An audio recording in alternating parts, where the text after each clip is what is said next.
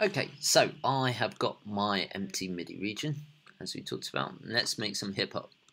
So, I'd say that's an alright tempo for hip hop. I've put it on 88. If you wanted to make something faster, you could drag it up and down. It's no problem. We'll double click and we'll drag up the piano roll. Now I'm going to start with just one bar till I've got it right and then create some variation, alright? So C1's my kick. To have a nice long kick at the start. Now you can play it in on the keyboard if you find it easier. I can just hit the keys on my keyboard and if you want. It depends. I find sometimes it's easier to write on piano roll. It's up to you, man.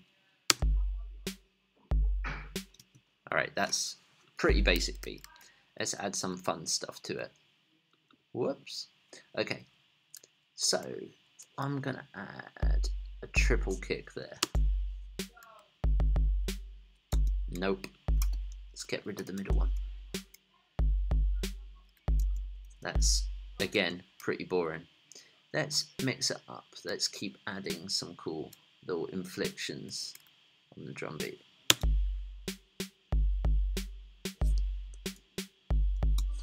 Hmm.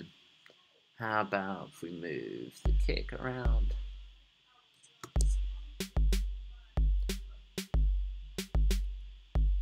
Cool, I like that. So, now we've got a little loop. I'm going to find a hi-hat. Start off with it just on each beat first.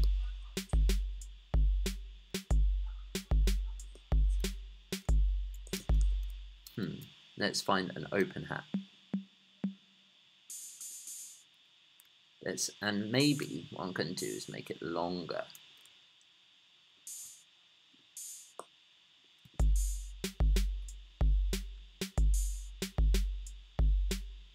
Cool, I dig that.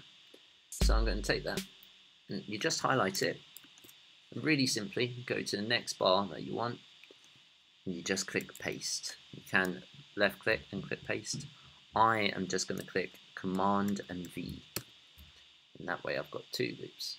Now let's say I want to mix it up on this bar so I'm going to maybe give it a bit more, I don't know, let's add some more snare hits and I might take out that second kick.